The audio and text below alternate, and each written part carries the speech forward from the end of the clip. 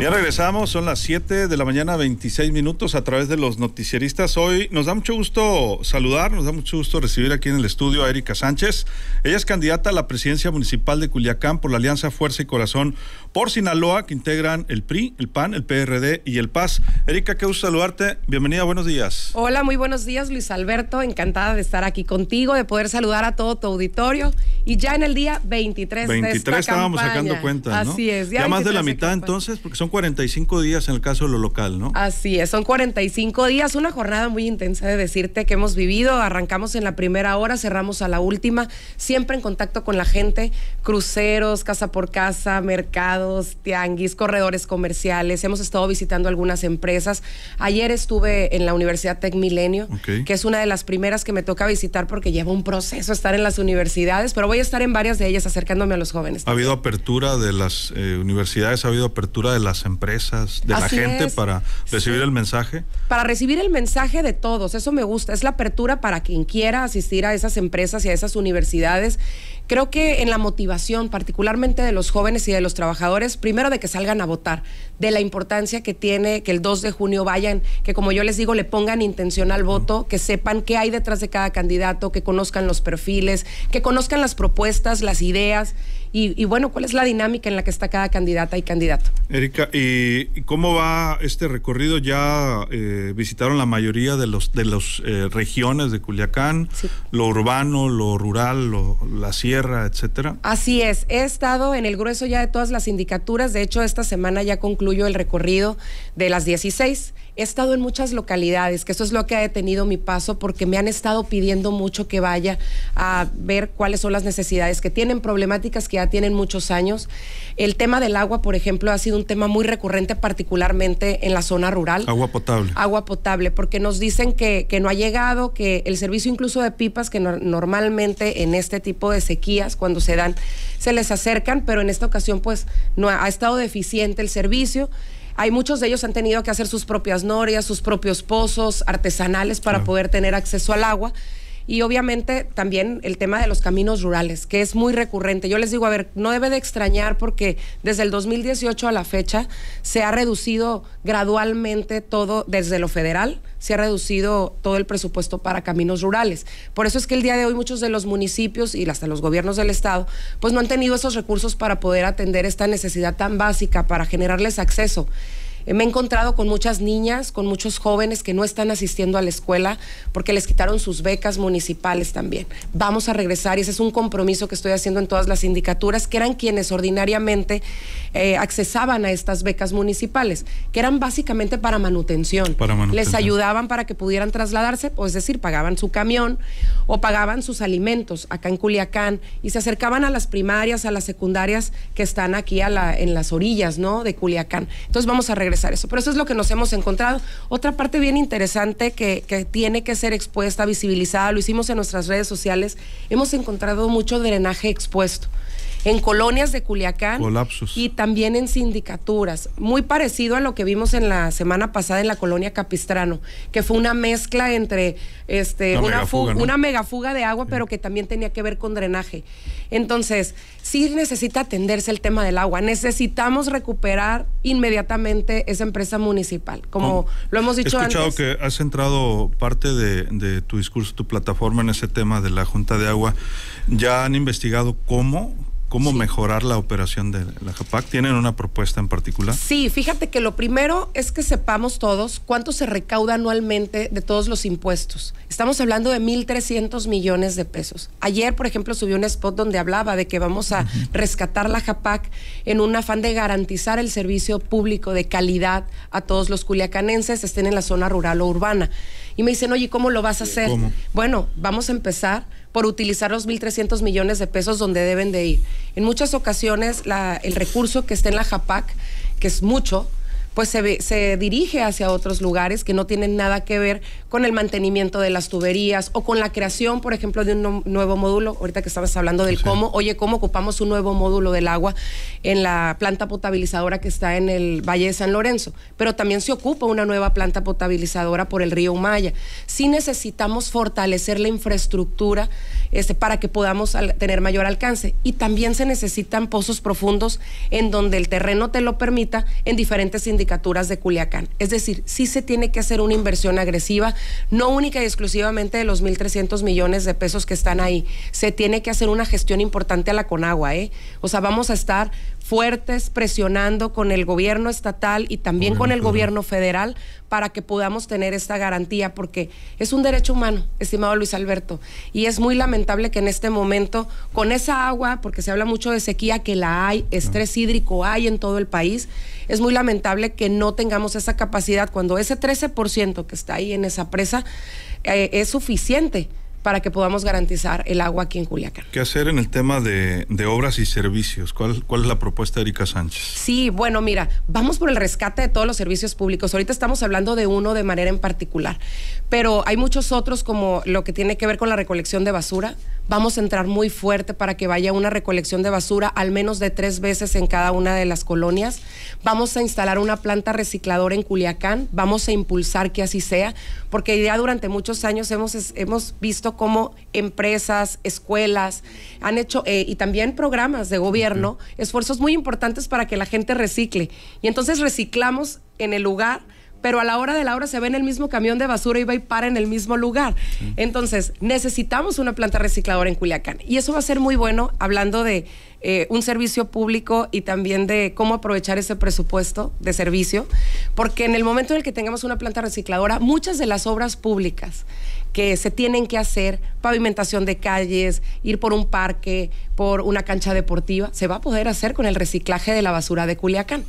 Entonces, vamos por eso. Hay un tema de baches, cero tolerancia a los baches. Ese es un tema, solo para que tengamos una idea, quienes nos están escuchando, en el desempeño de los gobiernos, el 80% de la gente que participa de las encuestas de INEGI dice que tenemos un deficiente, un deficiente servicio de calles.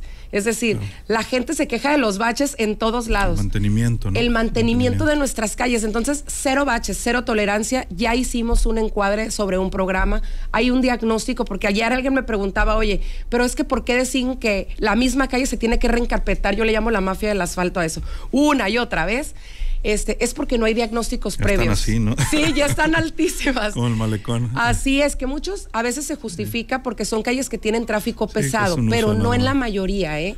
Entonces, bueno, en las colonias eh, y en los fraccionamientos, Erika, hay un problema porque Culiacán su reglamento, que ya se modificó hace algunos años, eh, permitía asfalto en, las, en los fraccionamientos de interés social, inclusive de, de, medio nivel, ¿no?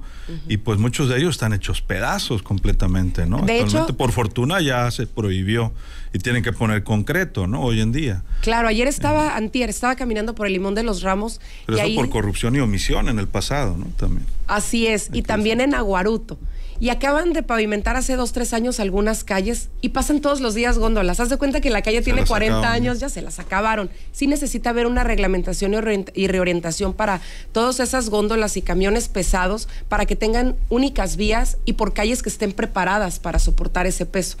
Pero por otro lado, te digo, ya tenemos el esquema. Cada calle es como si lo curáramos de alguna enfermedad necesita un tratamiento distinto. Algunos ocupan un, un nada más taparlo, otros ocupan una asfaltada, otros ocupan levantarse y volver a, poner la calle. Y ya tenemos una inversión, vamos a hacer una inversión de 140 millones de pesos en el primer año de gobierno para que podamos concluir con todo eso. Y nos dicen, oye, ¿de dónde va a salir el dinero? A ver, tenemos 6.500 millones de pesos en el, en el ayuntamiento anuales de presupuesto. Sí se puede. Sí, pues es el más grande del estado. ¿no? Así es, sí se puede. Eso entre lo que recibimos y también lo que generan las paramunicipales, como es el caso de Japac. ¿Cómo, cómo cambiar las, las formas de gobernar y por qué confiar eh, que en este caso Erika Sánchez y su plataforma es, es la, persona ideal para cambiar esas formas de, de gobernar? En tu caso has hablado mucho eh, y has cuestionado mucho, ¿no? Las actuales formas de gobernar. Así es, mira, primero déjame decirte que yo soy una mujer con experiencia. Tengo 20 años en el servicio público y debemos a partir de ahí, ya no podemos permitir la improvisación. Las improvisaciones, las ocurrencias son las que tienen muchos programas tan decaídos y un municipio tan abandonado, tan gris, tan sucio, como nos dice la gente. Ayer nos decían los jóvenes en el Tec Milenio que Culiacán se ve café y eso es suciedad. Quiere decir que no estamos haciendo muy bien el trabajo desde la autoridad y en ese sentido, pues eso es lo que se tiene que cambiar. ¿Por qué hacerlo? Porque en 20 años de servicio yo nunca he tenido un solo señalamiento. A mí me educaron muy bien, tengo una gran formación, valores y convicciones firmes. En mi vida me he echado un peso a la bolsa que no sea producto de mi trabajo.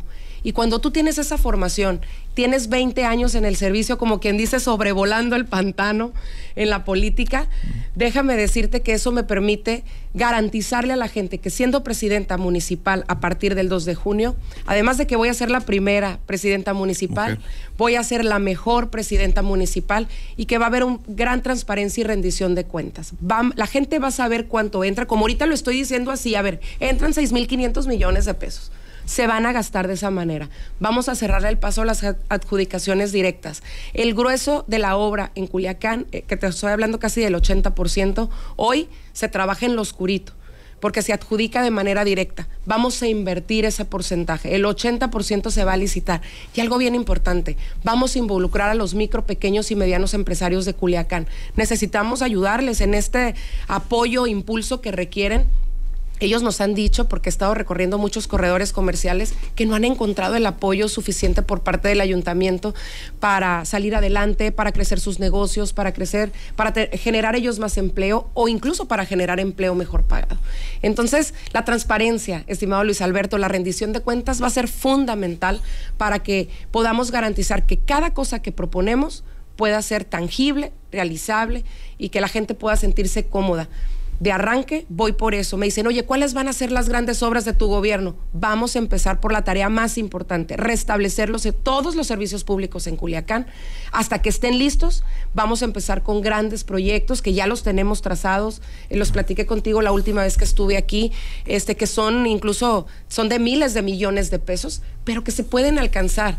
El problema actual es que tenemos autoridades que no gestionan, que no ven más allá de los 6.500 millones de pesos que tienen en las manos. Tenemos que abrir Culiacán al mundo, atraer inversión, buscar en, apoyos entre el gobierno estatal y federal y que Culiacán lo podamos poner en otro nivel, como es la propuesta que tenemos. ¿Has pensado con quiénes? ¿Con quiénes llevar a cabo ese trabajo? ¿Ya hay alguna planificación también del equipo de, de Erika Sánchez? Fíjate que te voy a decir qué es lo que tengo claro. Van a ser los mejores mucho me han preguntado si van a ser emanados de los partidos políticos en los que actualmente estoy respaldada, que es la coalición Fuerza y Corazón por Sinaloa, PRI, PAN, PRD y Paz. Y puede ser que algunos de ellos vayan a estar ahí, pero eso no implica que sean los únicos. Vamos a abrir convocatorias que permitan que vengan de la sociedad civil o de donde vengan, sean los mejores culiacanenses, que tengan el talento, la capacidad para sacar adelante, porque este es un proyecto ambicioso hablar del rescate de todos los servicios públicos no es cualquier cosa. Por eso, incluso hasta cuando lo planteas, hay mucha gente que dice, es real que vas a poder acabar con los baches. Bueno, el proyecto ya está y vamos a, vamos a aprovechar el mayor talento posible, Culichi, para que eso suceda. Erika, ¿qué decir a quienes eh, dicen o consideran o buscan permear que estas elecciones están resueltas? Digo, se dice desde lo nacional pero impacta hasta lo local. Y luego encuestas y demás, aunque últimamente ha habido de, de todos lados, ¿no? Encuestas. ¿Cómo va eh, la medición de Erika Sánchez y de su equipo en esta competencia? Mira, la mayor encuesta yo la encuentro en la calle. La final, obvio, la vamos a tener el 2 de junio.